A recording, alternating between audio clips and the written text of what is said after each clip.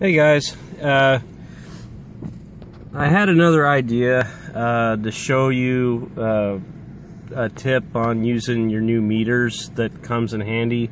Um, you're going to be learning about battery load testers and how they operate, how to do a load test, you know, with the tester. Well, you can do the same type of test with your uh, DVOM, and you can uh, basically uh, just hook it up to uh, the battery, which is up here.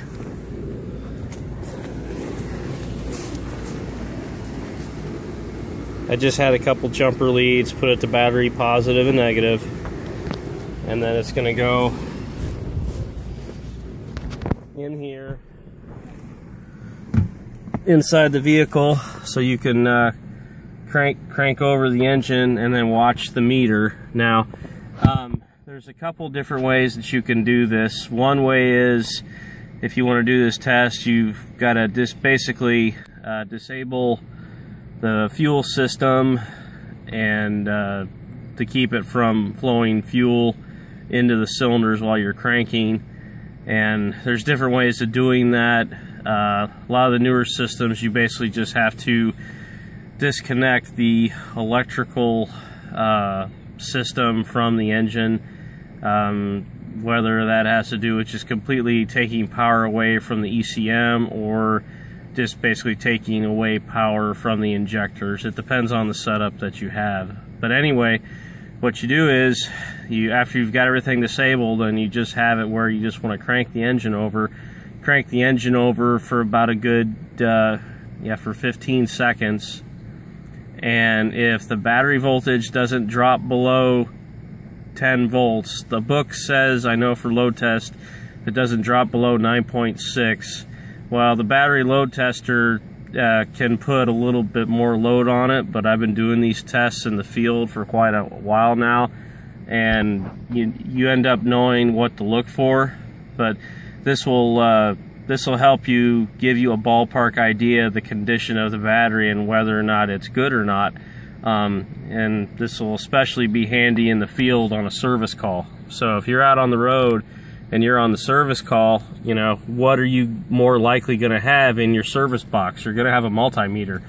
You're not going to have a load tester unless you've got like a really big uh, truck to hold it in or one of those expensive uh, load testers that's over you know a thousand bucks you know but you can do the same ty type of test with a DVOM so what I'm going to do is I'm going to disable the fuel system and ignition just by pressing on the accelerator pedal on this vehicle because the truck it has a full flood mode. If you put your foot to the floor it disables the fuel injectors and it won't let the engine start. So I can crank this over all day with my foot to the floor and it won't start the engine. Some uh, cars have this feature, others don't. I wouldn't recommend trying it unless you know for a fact that your vehicle does have it. So, for your own personal vehicle. On the big stuff, uh, outside of what I do at, at my job, I don't know. And so, anyway, I'll go ahead and do the test. I'm going to put the meter here. As you can see, you got, uh, there's a little bit of a surface charge on the battery got about uh, 12.85 volts okay? Just gonna put it right here. That way you can see it. And I'm gonna crank the engine over and watch the meter okay?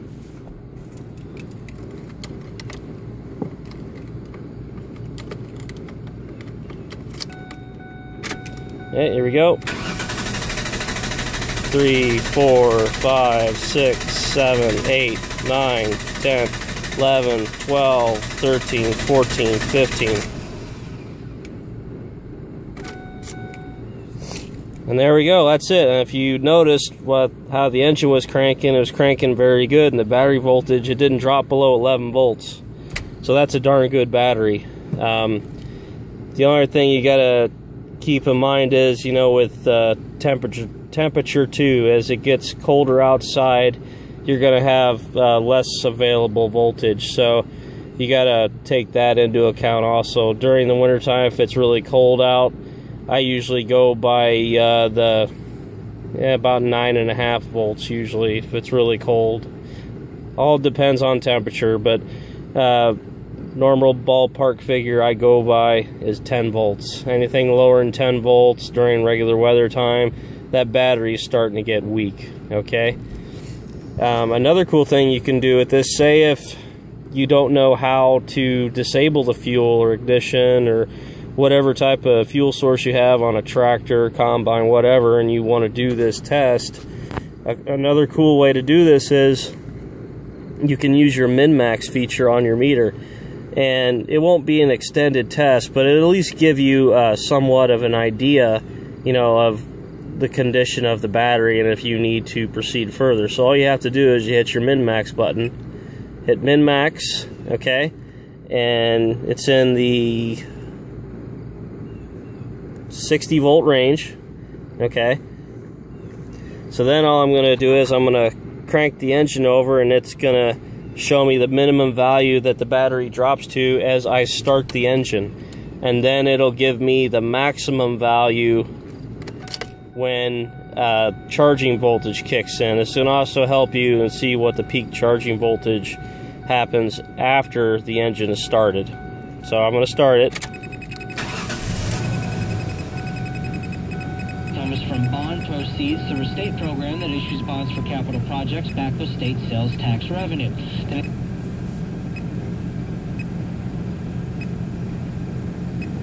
And as you can see, it's counting up. The min-max value is counting up because the charging voltage is increasing.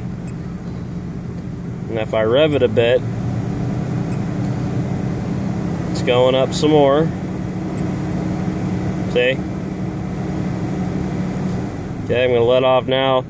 I'll show you the min-max. Hit the, the min-max. Okay, minimum voltage. Cranking over 10 volts. Okay? That's the average, 13.3. And then this is what the battery's charging at now. This is showing you live voltage, live data right now. Hit the button again and the maximum is 13.86 volts. Hit the minimum, uh, 10 volts and uh, 80 millivolts. That's the minimum. Okay, so that's it. That's just another cool feature of uh, your meter. Um, you also have Another thing I forgot to mention, you've got auto hold, which is actually a very nice feature. I'll show that to you. Just hold on a sec.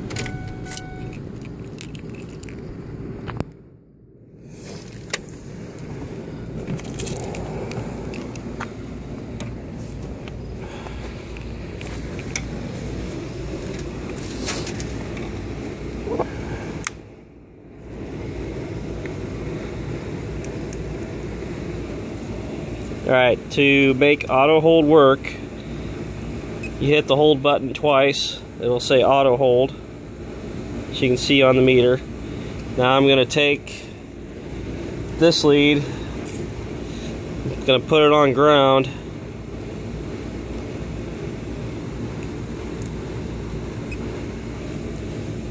And now it gave me 13 volts, okay? And I took the lead off as you can see and it's holding.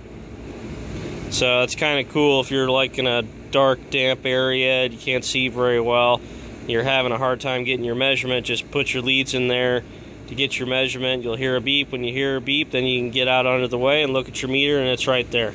So that's a really nice feature of this meter. So anyway that's it. I thought I'd show that to you because I forgot to um, talk about the auto hold and I wanted to give a better example on min-max uh, for you guys too. So anyway, that's it. I hope you like it, and uh, I'll see you all in the class. Bye.